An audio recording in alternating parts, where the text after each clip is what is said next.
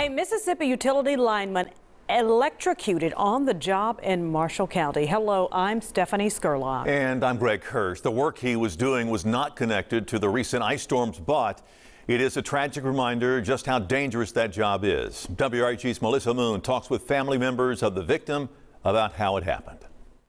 They told me it was working on the lines and I guess he touched the live wire. That's all that I know. Jim Stinson rushed to Tasca Road off Highway 72 to find out exactly what happened to his brother. The Marshall County Sheriff's Office says a lineman with the Holly Springs Utility Department was electrocuted while trying to restore power on Tasca. Stinson identified the worker as his brother, Henry Watson Sr. Stinson says Henry had worked for HSUD for about five years and will be missed by many. Fun loving, wanted, loved his family, got along with everybody. Everybody.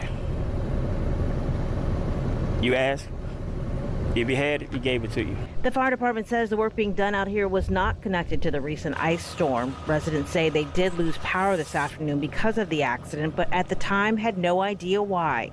Terrible. Terrible. Stinson says his brother leaves behind a son and several siblings, and he's trying to hold it together for everyone. All I can do is just, just pray.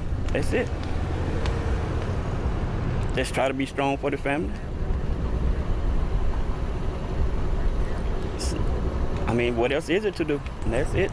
We wanted to know exactly how this might have happened, but so far, Holly Springs Utility Department has not commented on the tragedy. In Marshall County, Melissa Moon, WREG, News Channel 3. Uh, our condolences to the family. Now, we did contact the Holly Springs Utility Department, but were referred to the mayor's office, and so far we have not yet heard back from her.